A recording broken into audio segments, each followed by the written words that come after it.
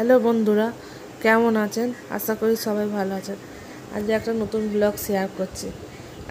আমি একদিনের জন্য আমার বাপের বাড়ি গেছিলাম। এই দেখো, আমার বাপের বাড়িতে আমার ছেলে মা ম্যাগি করে দিয়েছে, বসে খাচ্ছে। অনেক দিন বাদেই গে চার মাস বাদে।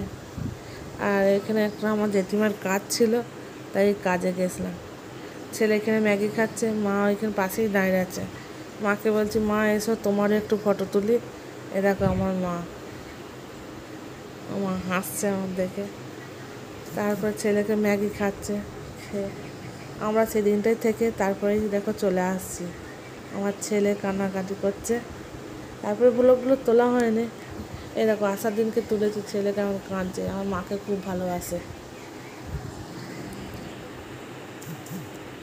তারপরের দিনকে আমরা শ্রীরামপুর গেছিলাম কেনাকাটি করতে। ছেলে ট্রেনে দেখ দুষ্টু করছে, বদমাইশি করছে। ট্রেনেতেই বদমাইশি শুরু করছে দিদির সাথে। ট্রেনেতে গিয়ে শ্রীরামপুর থেকে কিছু কেনাকাটি করব, সব পুজোর কেনাকাটি বাকি আছে। একদিন গিয়েছিলাম শ্রীরামপুর থেকে সব কিনে নিয়ে এসেছিলাম আসলে শ্রীরামপুর থেকে মেয়েরই বেশিরভাগ জিনিস কিনি। মেয়ের jeans, top, kurti pant set এইসবই কিনে। আমাদের হরিপালে থেকে শাড়ি সবই পাওয়া যায়। ছেলেরও কিনি, ছেলের জিন্স কিনেছি, টপ কিনবো। দেখো ছেলের দোকানে। বদমাইশি করছে। এইখানে যে সাজানো আছে, সেগুলোকে ধরে বদমাইশি করছে। আর ওর বাবা সেই ফটোগুলোকে তুলছে। ম্যানিকুইনগুলো বেশ আমাদেরই দেখতে ভালো লাগছে। ও তো আরও ভালো লাগছে। ও একটু দুষ্টু করে না, ও সবার সাথে এখানে মিশে গেছে।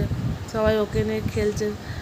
দেখো, ছোটো ছোটো সবাইকে গুলি করছে। ও যেখানেই যাবে সবাইকে গুলি করো তারপর তো মেয়ের এখানে বেছে বুঝে সব জামা নিলাম। জামার কালেকশন খুবই ভালো ছিল। এটা হচ্ছে শ্রীরামপুরের লাবণী। খুব ভালো কালেকশন আর আর আমার ব্লগটা করা হয়নি এইখানেই শেষ।